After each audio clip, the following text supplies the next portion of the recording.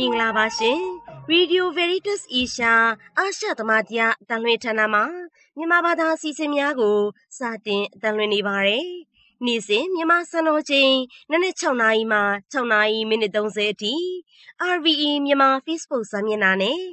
RVE မြန်မာ YouTube Channel တို့မှာအတန်လွှင့်ပေးနေပါတယ်ရှင်။တို့တာရှင်ဓမ္မမိတ်ဆွေ RVE fan များအားလုံးဖျားရှင်ရဲ့ကောင်းချီးမင်္ဂလာကျေးဇူးတော်များခံစားရပါစေကြောင်း RVA မြန်မာဝိုင်းတော်သားများအားလုံးရေကိုစားကျမ Sister Lucia တနအောင်ကနှုတ်ခွန်းဆက်ပါရရှင်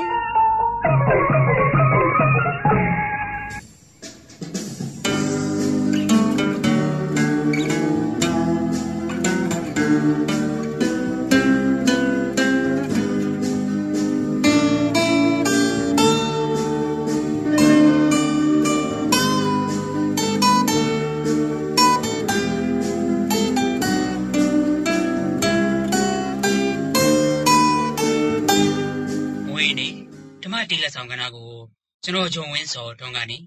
တင်ဆက်ပေးသွားမှာဖြစ်ပါတယ်ဒီကနေ့ဩဂတ်စ်လ23ရက်နေ့မှာတက်ရောက်တဲ့မွေးနေ့ရှင်များကတော့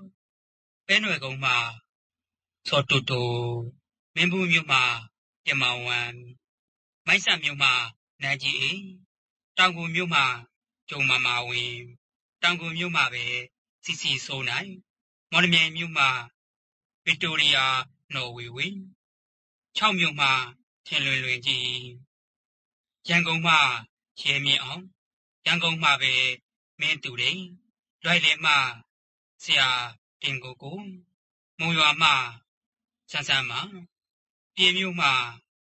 မောင်စော်မှုအောင်မြောင်းမြမှပူပူခေါ်ပီတာစွမ်းချက်ဖို့ပြည်မနာမြို့ပေါင်းလောင်းနှင့်ချယ်ရီလန်မှ1045မှဒီရိုနက်ဝိုင်းညွန့်တင် အရာတော်မှအင်ဂျင်ဝေတို့ပဲဖြစ်ပါတယ်ဒီကနေ့ဩဂတ်လ23ရက်နေ့မှာကြာရောက်တဲ့မွေးနေ့ရှင်များကြည့်ရှုနားဆင်အားပေးနေသူများတောင်းဆိုထားကြသူများအားလုံးပေါ်အဖဘုရားသခင်ရဲ့ကောင်းကြီးတော်များစောတဲ့တဘူတိုး၍ခံစားရပါစေကြောင်းအချက်သမားတရားမြမပိုင်းစီတင်မှာဝိုင်းတော်သူဝိုင်းတော်သားများနဲ့အတူကျွန်တော်ဂျုံဝင်းစော်ထုံးကနေစွန့်မုံကောင်းတောင်းပြီးဒေတန်ရှိအလုံးဝတည်ဆိုထားတဲ့ ပြောင်းလဲခြင်းနေ့ရက်ဆိုတဲ့ဓမ္မသချင်းကိုတင်ဆက်ပေးလိုက်ပါတယ်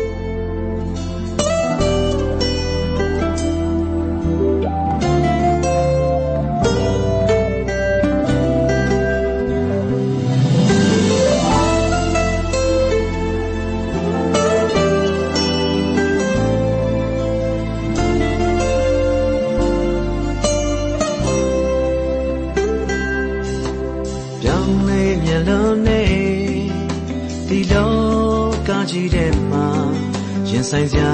ဒုက္ခမြေကိုကူးဖြတ်နေရတယ်ရှုံးမပေးပါဘူးဒီလူဘဝတိုက်ပွဲကိုမျောလင်းခြင်းဖြင့်သက်ရှင်ကြိုးစားသွားနေမယ်ခံယူနိုင်ရာခြေသူများစွာဓ မ္မချမ်းစာလင်းပေးစကားတွေနောက်ဘဝတွေနေစေခွန်အားကာဒီမှုနဲ့မြေရင်ဆက်တွေကိုယ်တော်ရှိပြောင်းလဲပေးပြီးလောလောတိုင်းသာအသက်ရှင်ပေးဒါစီများလဲဖြစ်ကြခဲ့ပြီဝိညာဉ်တော်စွာနဲ့တူ ဒီကိစ္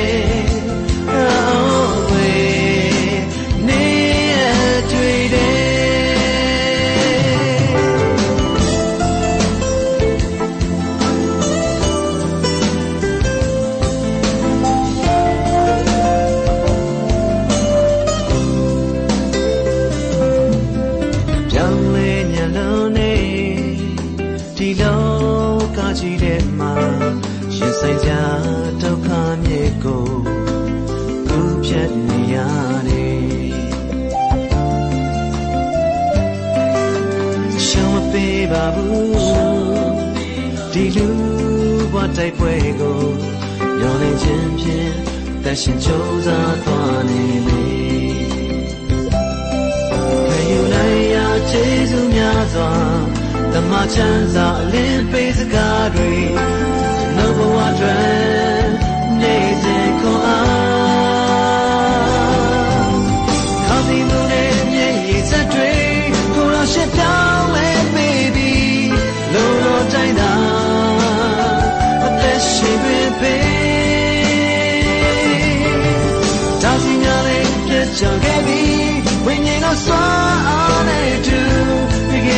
စ္စချေ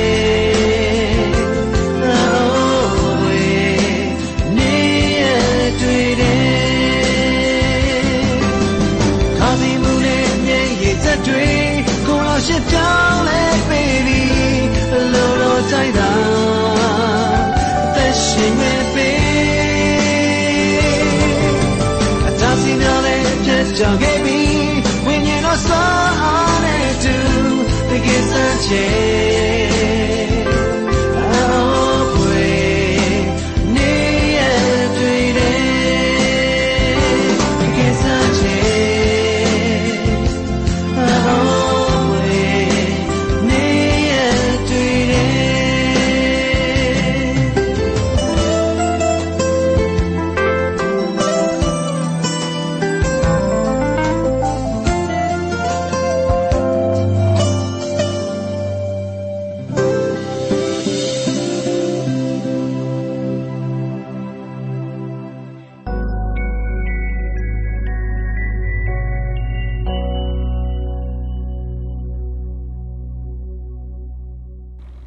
ရိစေဦးတွေကစမ်းသက်လိုတဲ့စိတ်နဲ့လူတဦးသည်မိသည့်အကြောင်းကြောင့်မဆိုမိမိဇနီးနှင့်ကွာရှင်းအပ်ပါသလိုလို့မေးလျှောက်ကြတဲ့အခါမှာသခင်ယေရှုကတင်တို့ဤစိတ်နှလုံးခတ်ထန်ခြင်းကြောင့်သာမိုးဇက်ကကွာရှင်းဖို့အခွင့်ပြုခဲ့ရခြင်းဖြစ်တယ်လို့မိန့်ဆိုတော်မူခဲ့တယ်ဘဝလက်တွဲပေါ်ဖြစ် ပေါင်းသင်းနေထိုင်ကြသူတွေမှာ အချိန်ကြာလာတာနဲ့အမျှညီးငွေခြင်းရိုးသွားခြင်းထောင်ချောက်တဲကိုမကြရအောင်အလိုလိုအထူးခွင့်ရရပြီးတော့လွတ်မြောက်သွားတာမျိုးမရှိပါဘူးသူတို့နှစ်ဦးအကြားမှာဒီ attachment တွေ့တာမျက်နှိုးခြင်းဆက်လက်ရှိနေခြင်းကအဲ့ဒီလိုဆက်ရှိနေအောင်သူတို့ကကြိုးစားကြလို့ဖြစ်ပါတယ်အိမ်အောင်ပြုခြင်းဆိုတာက စင်ဆက်မပြတ်ကြိုးစားနေဖို့စိတ်ဆုံးဖြတ်ထားရခြင်းဖြစ်တယ်စိတ်ပညာရှင် Eric Fromm ကအချစ်ရဲ့ဂုဏ်သက်တည်တွေကို The Art of Loving စာအုပ်မှာစည်ရင်းဖော်ပြထားပါတယ်အချစ်ကစီကံလိုအပ်တယ်အာယုံနှစ်ထားမှုလိုအပ်တယ်စိတ်ရှည်ခြင်းယုံကြည်မှုထားခြင်းလိုအပ်တယ် မိမိကိုယ်ကိုယ်ပဲဖြစ်စေကိုယ့်ရဲ့ရုပ်ရည်ကိုပဲဖြစ်စေအလွန်အမင်းစိတ်ဝင်စားနေခြင်းကိုတွန်းလှန်ဖို့လိုအပ်တယ်မေတ္တာတရားကခံစားချက်မဟုတ်ဘူးအချစ်ကအလေးအကျင့် practice ဖြစ်တယ်လို့ Eric Fromm ကဆိုထားပါတယ်အဲ့ဒီတော့ဘာကို practice လေ့ကျင့်ကြမလဲတီတီလေးတွေတတန်းလောက် ဘဝမှာလေ့ကျင့်ကြရမှာဖြစ်ပါတယ်တခါတလေကျရင်ဇနီးနဲ့ခင်မွန်းနှစ်ယောက်ကတယောက်ကိုတယောက်မျက်နှိုးစွာထိတွေ့ခြင်းပြုပေးဖို့ကျင်နာတဲ့စကားတွေပြောပေးဖို့မေတ္တာတရားကတောင်းဆိုမှာဖြစ်တယ်တခြားသူရဲ့လိုအပ်ချက်ကိုဖြည့်ဆည်းပေးဖို့ကိုယ့်ရဲ့အမှုအကျင့်ကိုလိုလားစွာနဲ့ပြောင်းပေးခြင်းကို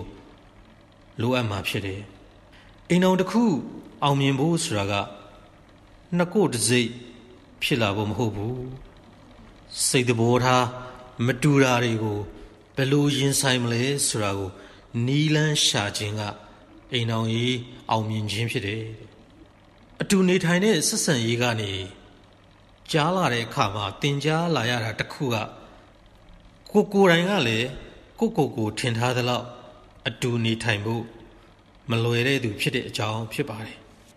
အိမ်တော်ကြီးကကိုတယောက်တည်းနေရင်မြင်တွေ့ရမှာမဟုတ်တဲ့ကိုအကြောင်းတွေကိုအယိုးသားဆုံးတွေ့မြင်လာစေတဲ့မှန်တစ်ချက်လိုဖြစ်တယ်ကိုမှလည်းမကောင်းတဲ့စိတ်ထားတွေမကောင်းတဲ့အကျင့်တွေရှိတယ်အိမ်တော်ကြီးအဆင်ပြေဖို့ဆိုလို့ရှိရင်ဒီအားနည်းချက်တွေကိုဝန်ခံရမှာဖြစ်ပြီးတော့ကိုယ့်ရဲ့အားနည်းချက်တွေကိုကြော်လွှားနိုင်ဖို့ဒါတွေကိုအသုံးပြုရမှာဖြစ်တယ်။ယဟန်နာပိုရန်မင်းကြီးဂျွန်ဘော့ဒ်စက္ကန့်က အိမ်တော်ကြီးဆိုတာကငရဲငယ်တစ်ခုလိုဖြစ်တယ်။ကိုယ့်ရဲ့အားနည်းချက်တွေမကောင်းတာတွေကိုစီးကြောရတဲ့နေရာတန့်စင်ရတဲ့နေရာဖြစ်တယ်လို့ဆိုခဲ့ပါတယ်။စိတ်ပညာရှင် Godman ကသူ့ရဲ့ကိုယ်တိုင်အိမ်တော်ကြီးအတွေ့အကြုံကနေပြီးတော့သင်ယူရခဲ့တဲ့အကြောင်းဥပမာတစ်ခုကိုသူမိန်ကုန်းမှာပြောကြားခဲ့တယ်။တညမှာ Godman ကလျှို့ဝှက်သေးကိုဝိထုကိုအပြီးသက်ဖတ်ဖို့ သူစိတ်ဆောနေတယ်တဲ့။ဘသူကလူတက်သမားဖြစ်တာကိုငါသိထားပြီးဖြစ်တယ်တဲ့။ဒါပေမဲ့ငါအဲ့ဒါကိုဖော်ထုတ်ချင်နေတယ်။ဒါပေမဲ့ဖတ်နေတော့တန်းလန်းမှာပဲသူအိမ်သားကိုထသွားခဲ့ရတယ်။ Godman ကဒီရေချိုးကန်းအိမ်သားတွေကိုဝင်လိုက်တဲ့အချိန်မှာသူ့ရဲ့ဇနီးကမှန်ရှိမှာဘီးဖီးနေတာကိုတွေ့လိုက်ရတယ်။ဒါကသူညာတိုင်းလုံနေကြအရာဖြစ်တယ်။လုံနေကြမလို့ဒီအတိုင်းလစ်လူရှုသွားနိုင်တယ်။ ဒါမဲ့သူ့ရဲ့မျက်ဝန်းတွေထဲမှာဝမ်းနေနေတဲ့အရေးအယောင်တွေကိုသူတတိထားကြည့်မိလိုက်တယ်။ငါမှရွေးချယ်စရာဖြစ်လာတယ်။ဒီညဝိထုကိုအပြီးဖတ်ချင်နေတာကြောင့်ဒီညတော့သူ့ဇနီးဘာလို့စိတ်မကောင်းဖြစ်နေတယ်ဆိုတာကိုမဖြေရှင်းရအောင်ရေချိုးခန်းထဲကနေမတိကျင်အောင်ဆောင်အตาလေးထွက်သွားလို့ရတယ်ဒါမဲ့သူရေချိုးခန်းထဲကို ပြန်သွားဖို့ဆုံးဖြတ်ခဲ့တယ်သူဇနီးရဲ့လက်ထဲကနေဘီးကိုယူလိုက်ပြီးတော့ဘာဖြစ်လို့လဲလို့မေးလိုက်တယ်အဲ့ဒီမှာသူ့ဇနီးကသူဝမ်းနေနေရတဲ့အကြောင်းကိုပြောပြလာတယ်ဒါကအသေးအမွားအခိုက်အတန့်လေးသာဖြစ်ပါတယ်ဒီချိုးခန်းထဲမှာစကားတစ်ခွန်းနှစ်ခွန်းပြောယုံလေးပဲဖြစ်ပါတယ်ရီရှည်တည်တဲ့နဲ့ဆက်ဆံရေးတိုင်းမှာစိတ်ကိုထပ်တူခံစားပေးမှု empathy လိုအပ်တယ်ကောင်းတဲ့အိမ်တော်ကြီးဆိုတာကထိုကဲ့သို့သော အခိုက်အတန့်တွေတစ်ခုပြီးတစ်ခုဇက်တိုက်ဖြစ်ပေါ်ခြင်းဖြစ်တယ်ကိုယ့်ရဲ့အဖို့ရဲ့ခံစားချက်တွေကိုခံစားပြီးခြင်းဖြစ်တယ်အဲ့လိုပြုလို့ရတာက ကိုဖြစ်ချင်တာလှုပ်ချင်တာတွေနဲ့စန့်ကျင်နေတယ်ဆိုရင်တော့မှခံစားပြီးခြင်းဖြစ်တယ်ဘယ်လိုပုံစံမျိုးတွေနဲ့ဖြစ်နိုင်မလဲဆိုလို့ရှိရင် ဘာလုပ်ပြီးတယ်ဆိုတာကအရေးမကြီးဘူးတဲ့စိတ်ကိုထပ်တူခံစားပြီးတဲ့ချင်း empathy ကအရေးကြီးတာဖြစ်ပါတယ်အရောက်စီတိုင်းကိုဖျားရှင်ဆလက်ကောင်းချီးပေးပါစေတစ်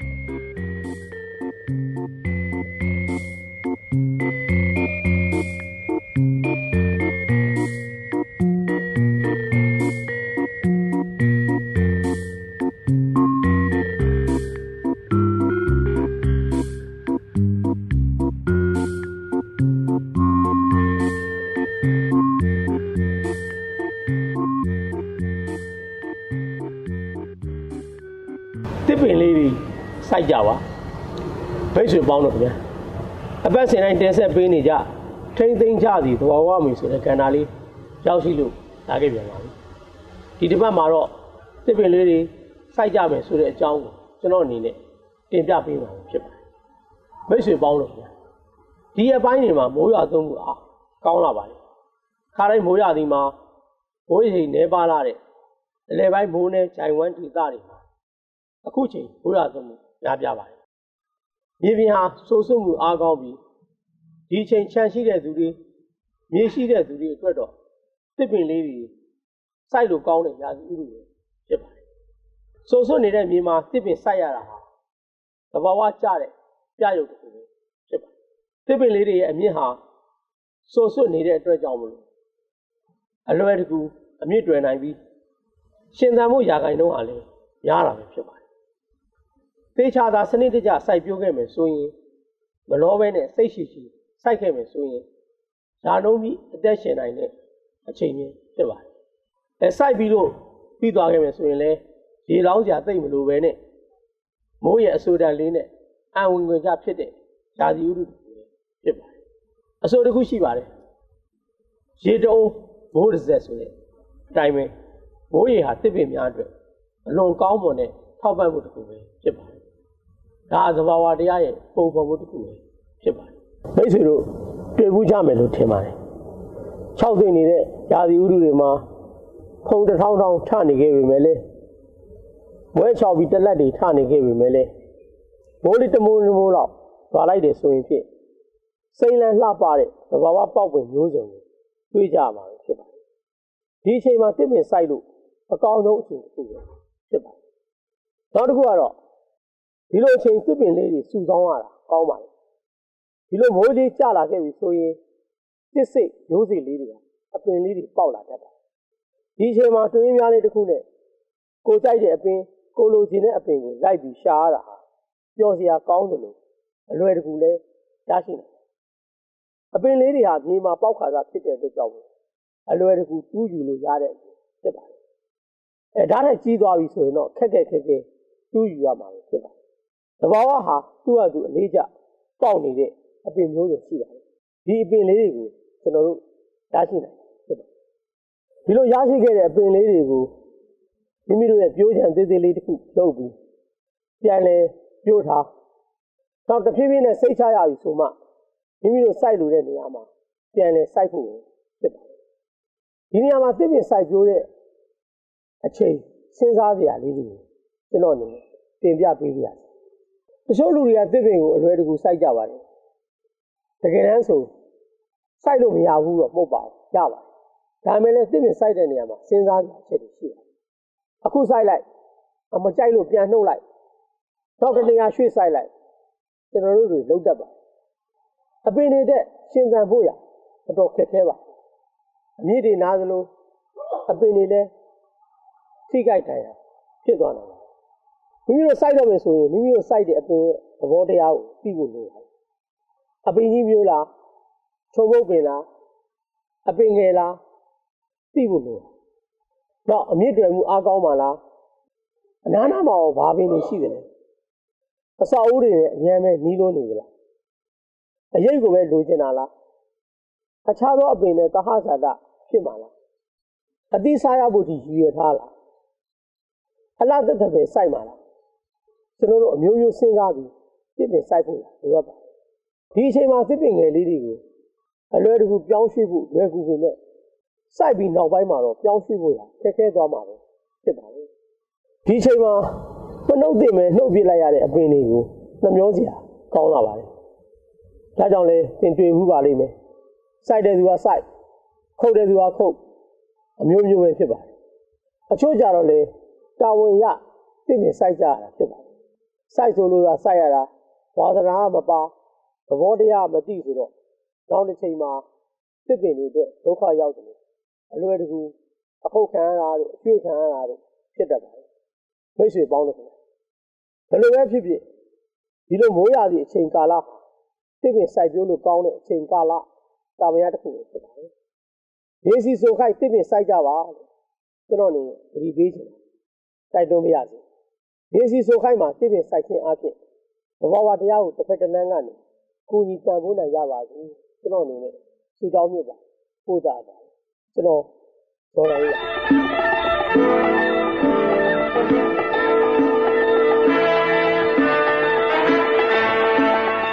ဟန်းမင်းကြီး Francis သည်တမန်ကျမ်းပညာရှင်ကြီးကာဒီနယ် Albert Van Hoy ပြန်လွန်ခြင်းကြောင့်စိတ်ထိခိုက်ခံစားခဲ့ရခြင်းတွင်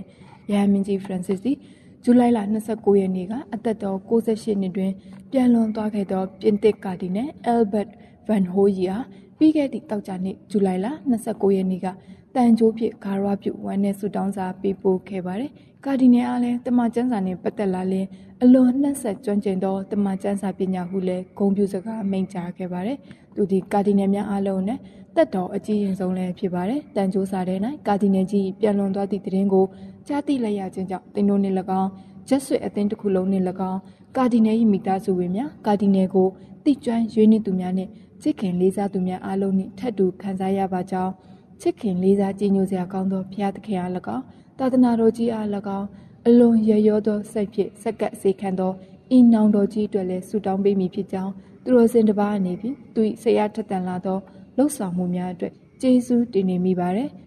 သူသည်စိတ်ဧကနိရှက်စီဝိညာဉ်ရေးသားဟုဆိုတဲ့ကဲ့သို့အတင်အပြ၌လည်းအလွန်ကောင်းသောဆရာအလွန်စိတ်ဆက်သောတမန်ကျမ်းစာပညာရှင်ရှင်ယိုသည်လူယိုတရားသောထက်ရှာလာသည့်တမန်ကျန်းစာတက္ကသိုလ်ကျောင်းအောင်လည်းဖြစ်ပြီးရဟန်းမင်းကြီးရုံးတော်၌လည်းပူတွဲအမှုတော်ထမ်းဆောင်ပေးသူသူသည်တင် जा တင်နိုင်တာမဟုတ်ဟောပြောခြင်းထိန်းချောင်းလမ်းပြရာ၌လည်းအလွန်ဆရာထက်တန်သူဧဝံဂေလိကျမ်းစာကိုစိတ်နှည့်၍ရှင်သန်စေလိုသူဖြစ်သည်လို့ ထုတ်ဖော်ဂုဏ်ပြုထားပါတယ်။သူဟာပြင်သစ်နိုင်ငံမြောက်ပိုင်း Hasbrook ၌1923ခုနှစ်ဇူလိုင်လ24ရက်နေ့တွင်မွေးဖွားခဲ့ပါတယ်။1941ခုနှစ်အသက်18နှစ်၌ကျက်ဆွေအသင်းသို့ဝင်ရောက်ရန်အတွက်ကုန်းလန်းလျှောက်၍ပြင်သစ်နိုင်ငံအနောက်ဘက်ကရှိလီဗင်နူးလို့တွားရောက်ခဲ့သူဖြစ်ပါတယ်။ AK သည်သူ့လိုလူငယ်လေးတဦးအတွက် ထိုခေတ်ကာလအတွက်အလွန်ဘေးနီးသောခရီးတစ်ခုဖြစ်ခဲ့ပါတယ်။အဘဲကြောင့်ဆိုတော့ပြင်သစ်နိုင်ငံတစိတ်တစ်ပိုင်းသည်နာဇီတို့၏နေချက်ချင်းကိုခံနေရခြင်းဖြစ်ပါတယ်။ကာတီနယ်သည်ထိုနေသို့ပုံရှိုးကွယ်ရှိုးဖြစ်သွားခဲ့ရပါတယ်။အကယ်၍သာဖမ်းဆီးရမိပါကသူ့အားလုံးဝနာဇီစနစ်ကျင့်သုံးသောဂျာမနီသို့ပို့ပစ်လိုက်မည်ဖြစ်ပါတယ်။သူသည် philosophy နှင့် theology ဘာသာရပ်ကိုဘယ်ဂျီယံနိုင်ငံ၌သင်ကြားခဲ့ရပြီး1954ခုနှစ်ဇူလိုင်လ26ရက်နေ့တွင် ထာဝရယဟန်တိခါကိုခံယူခဲ့ရပါတယ်။တမန်ကျမ်းစာအထူးပြုလေ့လာရန်အတွက်1956ခုနှစ်တွင်ရောမမြို့သို့ပညာတော်သင်ဆေလွတ်ခြင်းခံခဲ့ရပါတယ်။သူသည်တမန်ကျမ်းစာအထူးပြုသင်ကြားသောတက္ကသိုလ်မှဒေါက်တာဘွဲ့ကိုရခဲ့ပါတယ်။သူစာရန်ပြုစုခဲ့သောကျမ်းစာဆောင်မှာဟေဘရုဩဝါဒစာဖြစ်ပါတယ်။အလွန်ခက်ခဲနက်နဲသောစာဆောင်ဖြစ်ပါတယ်။ကျဆွတ်တစ်ပါးအဖြစ်သူ၏တသက်တစ္ဆာကို1959ခုနှစ်ဖေဖော်ဝါရီလ2ရက်နေ့၌ပြုခဲ့ပါတယ်။ 1962၌တမန်ကျမ်းစာဖြင့်သူဒေါက်တာဘွဲ့ရခဲ့သော Publican ၌ပင် Professor အဖြစ်ပြန်လည်ခန့်အပ်ခြင်းခံခဲ့ရပါတယ်။ပညာရေးမှုအဖြစ်လည်း1969မှ1985ခုနှစ်ထိ၎င်းကျောင်းအဖြစ်1984မှ1990အထိ၎င်းထမ်းဆောင်ခဲ့ပါတယ်။သူသည်1989ခုနှစ် Apostolic Constitution Sebastian Christina ရေးဆွဲရ၌လည်းကော်မရှင်အဖွဲ့ဝင်ဖြစ်ခဲ့ပါတယ်။ရဟန်းမင်းကြီးတမန်ကျမ်းစာဆိုင်ရာကော်မရှင်တွင်လည်းအတွေ့အမှုဖြစ်၎င်း1993ခုနှစ်ကပုံနှိပ်ထုတ်ဝေခဲ့သော The Jewish People and Their Secret Scripture in the Christian Bible တို့ကိုကုညီပုံဖော်ပေးခဲ့ပါတယ်။ခရစ်စတီယန်များစီလုံးညီညွတ်ခြင်းရရှိစေရေးယုံတော်ကက်သလစ်ပညာရေးကော်မရှင်ယုံကြည်ခြင်းဆိုင်ရာတွင်တင်ချက်ယုံတော်တို့၌အတိုင်ပင်ခံအဖြစ်အမှုတော်ထမ်းခဲ့ပါတယ်။ပြင်သစ်ဘာသာစကားပြောသော ဥရောပအနောက်ပိုင်းဒေသမှကျဆွစ်ဖုံတော်ကြီးများကရဟန်းမင်းကြီးအနေဖြင့်ရဟန်းမင်းကြီးစာချုပ်တော်၌ကျမ်းအကိုကားများထည့်သွင်းဖော်ပြလိုသောအခါကျမ်းစာနှင့်ပတ်သက်၍အငင်းပွားဆရာများဖြစ်ပေါ်လာလျင်ကာဒီနယ်ကိုအမြဲခေါ်၍ဆွေးနွေးအကြံဉာဏ်တောင်းလက်ရှိရလို့ဆိုပါတယ်။ရဟန်းမင်းကြီးငြိမ်သည်ကာဒီနယ်၏မနာမနေအလုတ်စ조사လုပ်သောနှိမ်ချသောသာသနာတော်၏ကောင်းကျိုးအတွက်ကိုသာအစဉ်ထည့်သွင်းစဉ်းစားတတ်သောသူစိတ်နှင့်သဘောထားကိုအလွန်သဘောကျနှစ်သက်ခဲ့ပါတယ်။ 2006ခုနှစ်ဖေဖော်ဝါရီလ22ရက်နေ့၌ရဟန်းမင်းကြီးငိမ့်သည်သူအားကာဒီနယ်အဖြစ်ရွေးချယ်ခဲ့ပါတယ်။ရဟန်းမင်းကြီးငိမ့်ကဂျက်ဆွစ်အသင်းသားများသည် Great SG ဂျက်ဆွစ်တို့သည်တမန်ကျမ်းစာအနက်ပြန်ရ၌ကျွမ်းကျင်သူဟုတင်စားချီးမွမ်းခဲ့ပါတယ်။သူအားကာဒီနယ်အဖြစ်တက်တော်80ကျော်မှရွေးချယ်လိုက်သည်မှာလည်းသာသနာအတွက်ပေးဆက်လွန်သောတစ္ဆာရှိလွန်သောစံထားလောက်သောသူ၏စက္ကန့်မှုကြောင့်လေးစားလွန်သောကြောင့်ဖြစ်ကြောင်းရဟန်းမင်းကြီးငိမ့်ကမိန့်ကြားခဲ့ပါတယ်။ကာဒီနယ်အဖြစ်2006ခုနှစ်မတ်လ24ရက်နေ့တွင် ရွေးချယ်ခံခဲ့ရတော့လဲကာဒီနယ်တူမဖြစ်လာမီဆီယာတော်တိတ်ခါထက်ရန်မလိုသောထူးခြားသည့်အခွင့်အရေးကိုရရှိခဲ့ပါတယ်2008ခုနှစ်၌ရဟန်းမင်းကြီးငိမ့်သည့်သူ့အားရဟန်းမင်းကြီးနှင့်လောက်ဖော်ဆောင်ဖက်များဝါရင်ကာလာ၌နှစ်စဉ်ပြုလုပ်လေရှိသောနှစ်ပတ်လည်၌ဥပုံဆောင်ရာတွင်တရားပေးသူအဖြစ်လဲဖိတ်ခေါ်ခဲ့ပူပါတယ်။ထိုစဉ်ကတရားပေးရာတွင်ကာဒီနယ်ကသူ၏တရားကိုဟေဘရုဩဝါဒစာတွင်ဖော်ပြထားသောယေရှုသခင်ယဟန်ဖြစ်တော်ကိုထောက်ရှုတရားပြခဲ့ပါတယ်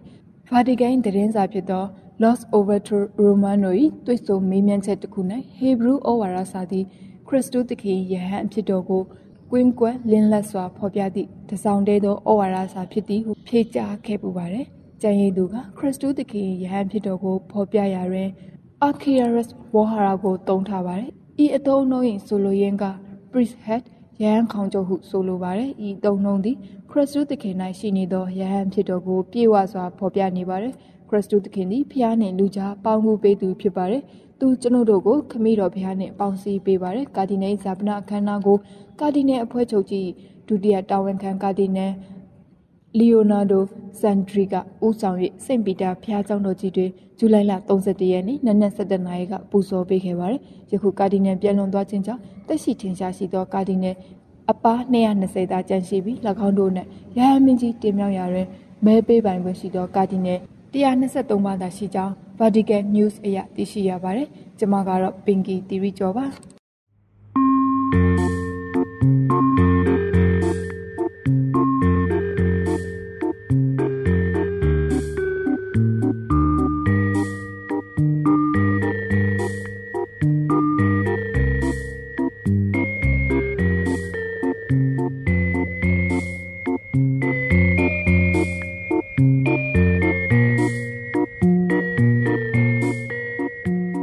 ရှသမတရားအတန်လွှဲဌာန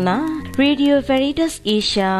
RVA သည်မြန်မာနိုင်ငံသူနိုင်ငံသားများနဲ့တလုံးတဝါးရှိကြောင်းပန်ကြားလွှာညီကိုမွန်မအပေါင်းငင်းချမ်းချင်နိုင်နှုတ်ခွန်းဆက်တာပါသည်ကျွန်တော်အာရှသမတရားအတန်လွှဲဌာန Radio Veritas Asia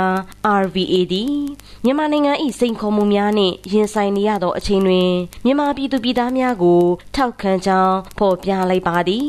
တင်တို့ဤခက်ခဲသောအခြေအနေမှာကျွန်တော်တို့တလုံးတဝါဒီရှိနေပြီးယခုဖြစ်ပေါ်နေသောအခြေအနေကိုငြိမ်းချမ်းစွာဖြင့်အမြန်ဆုံးဖြစ်နိုင်သောအချိန်တွင်အပြေရှားတွေ့နိုင်ရန်ဆုတောင်းခြင်း၌တင်တို့နှင့်အတူတကွရှိနေပါ रे ပြောဆိုညှိနှိုင်းအပြေရှားခြင်းနီလန်အပြင်ယခုမျက်မှောက်အခက်အခဲကို အပြေရှားခြင်းပြန်လည်ရင်ကြားစီရေးတင့်မြတ်ရေးမှာအားလုံးအတူတကွပါဝင်ကြဖို့မြန်မာပြည်ရဟန်းမင်းအမန်ကာဒီနယ်ချားစ်ဘိုဤလှုံ့ဆော်မှုတောင်းဆိုမှုကိုကျွန်တော်တို့ထောက်ခံပါသည် 2021ခုနှစ်ဖေဖော်ဝါရီလ3ရက်နေ့ရက်စွဲဖြင့်ထုတ်ပြန်ခဲ့သောမြန်မာပြည်သူပြည်သားအပေါင်းနှင့်အပြည်ပြည်ဆိုင်ရာမိတ်ဆွေများထံသို့ပေးပို့သောကာဒီနယ်ချားစ်မောင်ဘို၏သတင်းစကားတွင်ဖော်ပြထားသောငြိမ်းချမ်းရေးလမ်းစဉ်သည်သာတခုတည်းသောလမ်းစဉ်ဖြစ်တဲ့ဒီလမ်းစဉ်မှာရှိတဲ့တခုတည်းသောအလင်းကတော့ဒီမိုကရေစီအလင်းပဲဖြစ်တဲ့ဆိုသောအရာကိုထောက်ခံသည့်အတိုင်းငြိမ်းချမ်းရေးဟာဖြစ်နိုင်သောအရာဆိုတာကျွန်တော်တို့ RVA မှာရှုံကြည်ပါတယ်မြန်မာနိုင်ငံအတွင်း၌ဖြစ်ပေါ်နေသောအခြေအနေများအတွက်တာဝန်ရှိသူတို့သည် အများကောင်းကျိုးအတွက်ဖြောင့်မတ်စွာလှုပ်ဆောင်လိုသည့်ပြင်းပြသောစိတ်ဆန္ဒရှိမှုကိုဖော်ပြကြရန်ဒီမိုကရေစီအရာ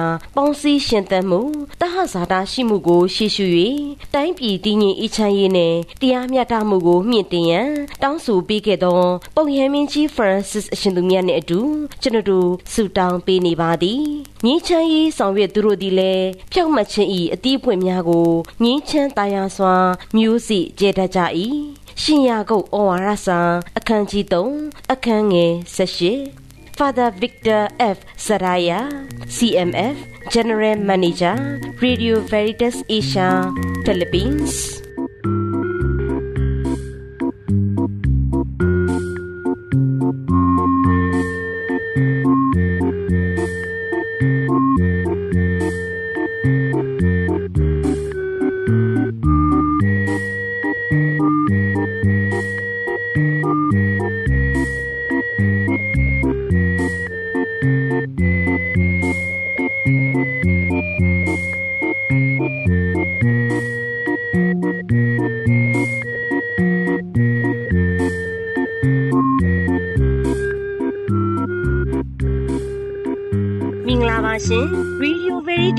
Veritas Asia အာရှသမတရားအတံလွှင့်ဌာနမြန်မာဘာသာစီစဉ်ရဲ့နေ့စဉ်ထုတ်လွှင့်တဲ့မိနစ်30အတံဖိုင်ကဏ္ဍလေးကို နားဆင်အားပေးတဲ့အတွက်ကျေးဇူးတင်ပါတယ်ရှင် RVA မြန်မာဘာသာစီစဉ်များကို RVA မြန်မာ website ဖြစ်တဲ့ myanmar.rvasia.org မှာဖြစ်စေ RVA မြန်မာ Facebook စာမျက်နှာမှာဖြစ်စေ RVA မြန်မာ YouTube Channel Twitter နဲ့ Instagram များမှာဖြစ်စေတင်ဆက်ပေးနေတဲ့အစီအစဉ်များကိုလည်းဝင်ရောက်ကြည့်ရှုအားပေးနိုင်ကြပါကြောင်းသတင်းကောင်းပါအပ်ပါတယ်။ RVA မြန်မာအစီအစဉ်ကို အားပေးတဲ့အတွက်ကျေးဇူးတင်ပါတယ်ရှင်။